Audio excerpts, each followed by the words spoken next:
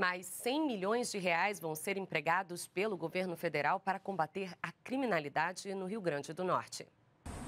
Após a visita ao Rio Grande do Norte, o ministro Flávio Dino anunciou o repasse de 100 milhões de reais para ajudar a conter os ataques criminosos no estado.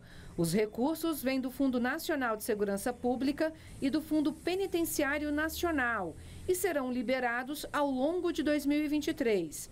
Até agora não há nenhum indicador de extrapolação dessa crise, ou seja, de ultrapassagem das fronteiras do Rio Grande do Norte e nós acreditamos com isto que as medidas que estão sendo ali implementadas são efetivas. Desde a semana passada, 700 integrantes de forças federais estão no Rio Grande do Norte. Temos, portanto, exatamente a presença do ministro, a maior autoridade na área de segurança pública e justiça do país, repito, trazendo não apenas a palavra, mas gestos e atitudes concretas. De volta a Brasília, o ministro Flávio Dino apresentou um balanço do recadastramento de armas no país.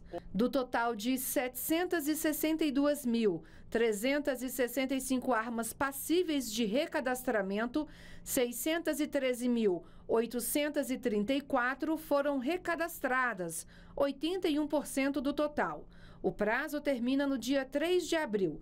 O ministro Flávio Dino também fez um balanço das ações de desocupação de garimpeiros do território Yanomami. Até agora, a Polícia Federal cumpriu 28 mandados de busca e apreensão, instaurou 49 procedimentos investigativos, fez 20 prisões em flagrante e duas preventivas. O ministro da Justiça também anunciou a abertura de inquérito na Polícia Federal para apurar casos de violência contra mulheres que ocupam cargos políticos no Brasil.